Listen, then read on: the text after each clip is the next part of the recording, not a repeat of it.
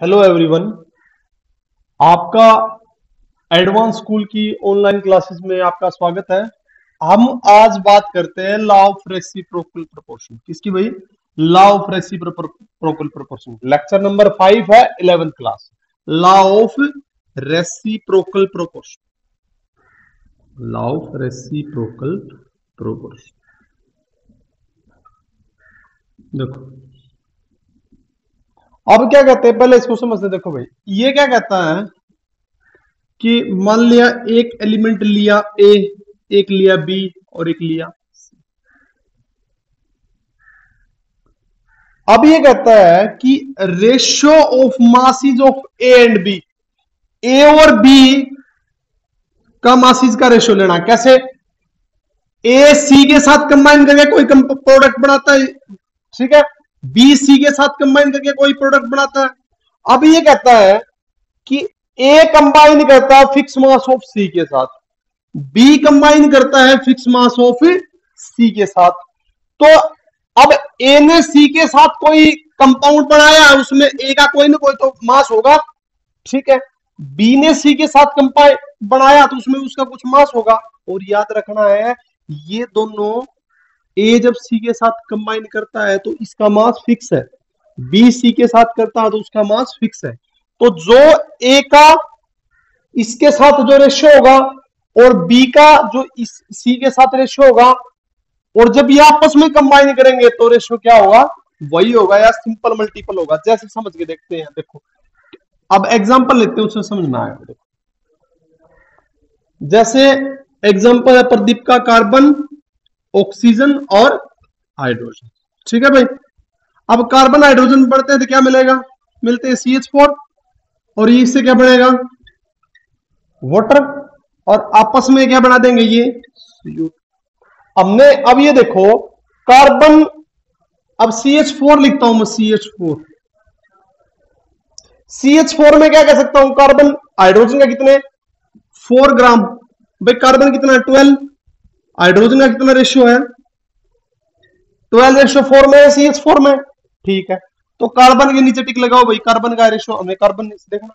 अब voter voter करो भाई। एच टू ऑक्सीजन का कितना ऑक्सीजन यहाँ पे इसका सिक्सटीन और यहाँ पे कितना इसका टू लेकिन एक बात बताई थी कि कार्बन कंबाइन करेगा फिक्स मास जितने के साथ कार्बन कंबाइन करेगा, उतने के साथ ऑक्सीजन करेगा। मान लिया, हम हाइड्रोजन का रेशियो फिक्स लेते हैं, जिसको बोलते हैं फोर ग्राम क्या बोलेंगे भाई? फोर ठीक है? जब हाइड्रोजन फोर है तो कार्बन ट्वेल्व है। अब क्या करें? हाइड्रोजन टू है, इसको फोर बनाना है तो ट्वाइस करें इसका ट्वाइस कर दिया। तो हमें क्या करना पड़ेगा? ऑक्सीजन का भी ट्वाइस करना पड़ेगा, क्योंकि हमने थर्ड एलिमेंट का क्या लेना है?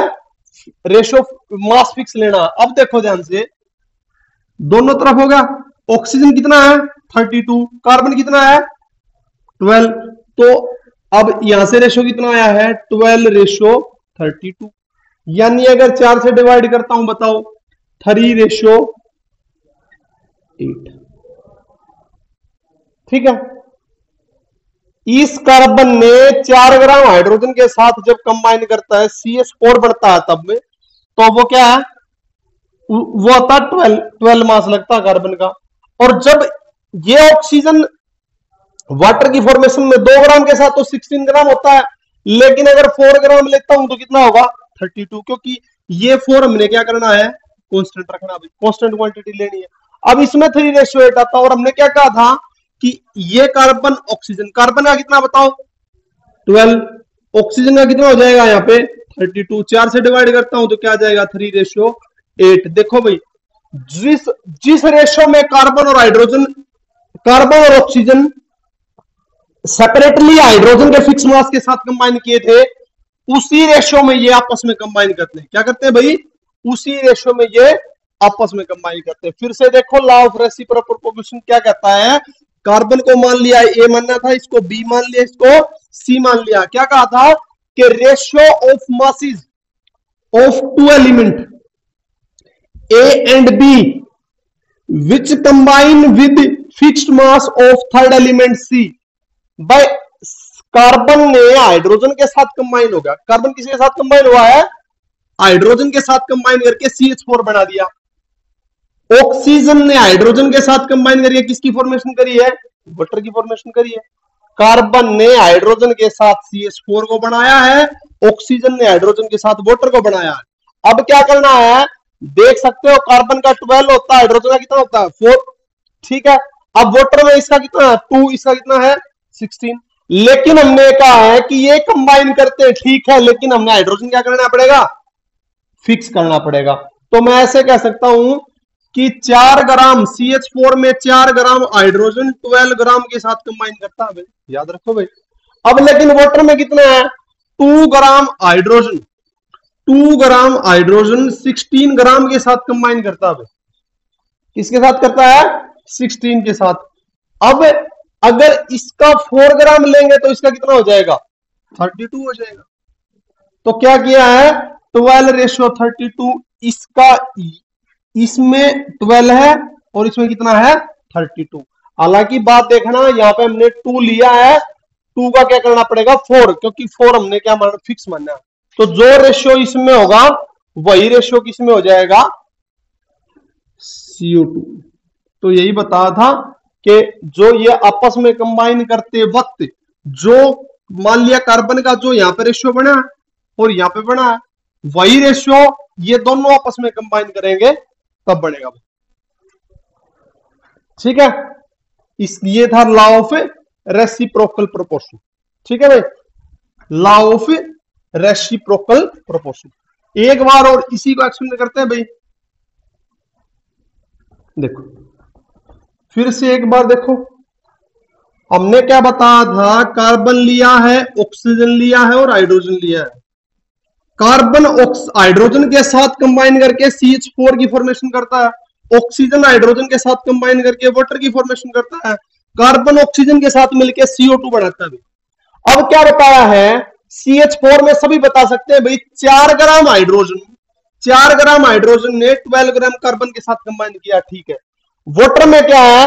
दो ग्राम हाइड्रोजन ने किसके साथ कंबाइन किया है? दो ग्राम हाइड्रोजन ने सिक्सटीन ग्राम ऑक्सीजन के साथ कंबाइन किया है। लेकिन हमने हाइड्रोजन का क्या करना है? मास फिक्स करना है। तो यहाँ पे कितने के साथ करना पड़ेगा? हाइड्रोजन का चार ग्राम लेना पड़ेगा। अगर हाइड्रोजन का चार हो जाएगा तो ऑक्सीजन का कितना हो जाएगा? थर्टी टू ये कार्बन है, ये ऑक्सीजन है तो कार्बन और ऑक्सीजन का रेशियो कितना आया? ट्वेल्व रेशियो थर्टी टू यानी three ratio three ratio eight three ratio eight फिर क्या किया कि तब तो वो थर्ड एलिमेंट के साथ कंबाइन करते थे और आपस में कंबाइन करेंगे भाई। आपस में कंबाइन करके इसने क्या बनाया है? सीओ टू कार्बन का कितना है? ट्वेल्व इसका कितना है? थर्टी टू डिवाइड करेंगे, क्या हो जाएगा? थ्री रेशियो ठीक है भाई? तो ये लॉ ऑफ़ रेसिप्रोकल था। आशा कि आपको समझ में आया होगा। ठीक है भाई? और आगे बात करते हैं, अगले अगले लेक्चर में बात करेंगे। ठीक है भाई? आगे।